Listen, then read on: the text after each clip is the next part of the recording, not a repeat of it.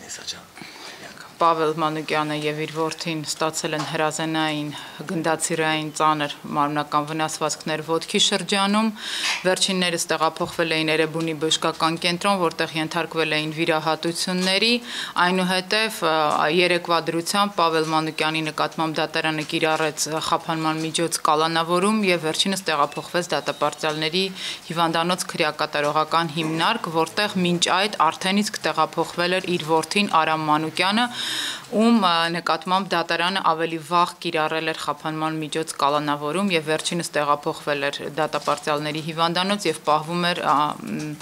կարելի ասել անմարտկային պայմաններում սկզբնական շրջանում, իսկ այնուհետև մեր բազմաթիվ դիմում բողոքներից հետո նույնիսկ եվրոպական դատարան ուղարկվեց հրատապ դիմում, պայմանները փոքր-ինչ բարելավեցին, նրանց հատկացվեցին առանձին սենյակներ, բերվեցին հիվանդանոցային մահճակալներ եւ ինչպես գիտեք, նրանց վիճակը այնպեսին է, նրանք տեղաշարժման որևէ հնարավորություն չունեն, գանված են անկողնում, քանի որ վնասվածքները ոտքից են եւ Պավել Մանուկյանը ունի հրատապ վիրահատությունների կարիք, որոնք այս առաջիկա օրերին պետք է արդեն սկսեն կատարվել։ Արամ Մանուկյանի մասով նույնպես ունի վիրահատման խնդիրներ։ Առաջադրված է մեղադրանք քրեական օրենսգրքի 219 հոդվածով եւ 235 հոդվածի հատկանիշներով այսինքն այդ շենք շինություններ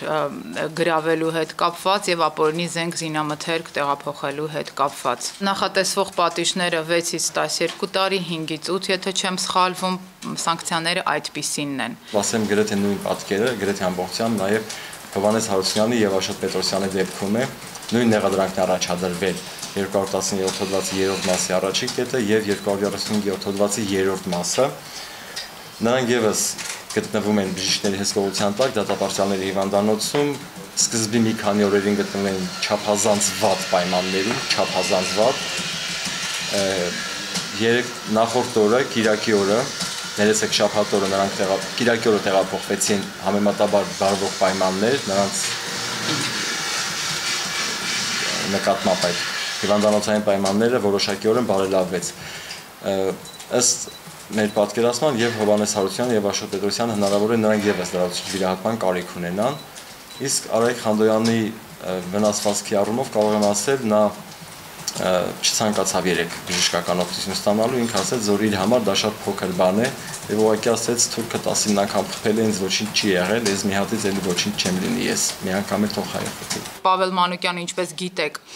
ՊՊՑ գնդից դուրս գալուց հետո հայտարարել է հացադուր եւ մինչ օրս որևէ սնունդ չի ընդունել եւ նա բազմից էլ նշել է, որ եթե իմ ժողովուրդը մի կաթիլ արյուն թափեց եւ ես պետք է գնամ միջև վերջ, ես այս կերպ շարունակելու եմ իմ պայքարը։ Երեկվա հանձնման process-ի հետ կապված պետք է նշեմ, որ ինչպես հիշում եք, ԱԱԾ-ն մի շարք հաղորդագրություններ տարածեց եւ վարույթն իրականացնող մարմինը ներկայացրեցին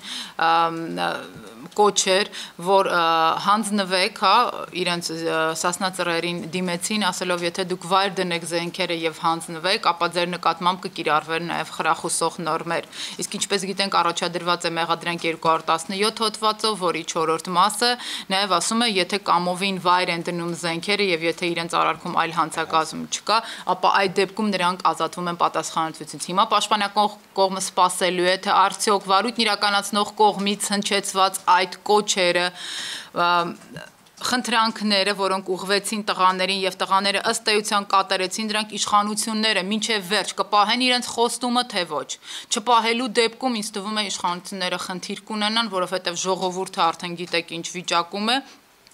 այսինքն ոդքի է կանգնել ամեն դեպքում սասնա ծռերի տղաները նրանց շատ ոգեշնչել են, ոգեկոչել են իրենց քայլով եւ այս պայմաններում գտնում են, որ իշխանությունները պետք է հետեւություններ անեն եւ իրենց խոսքին հետեւողական լինեն։ Մինչ երեկվա տղաների սասնածռեր խմբի տղաների հանձնվելու գործընթացը բոլոր կալանավորված անձանց առաջադրվել էր նույն մեղադրանքը երեկվա ԱԱՑ-ի հաղորդագրությունից արդեն པարզ դարձավ, որ չի բացառում, որ այս տղաներին առաջադրվի նոր մեղադրանք 217 հոդվածի հատկանիշներով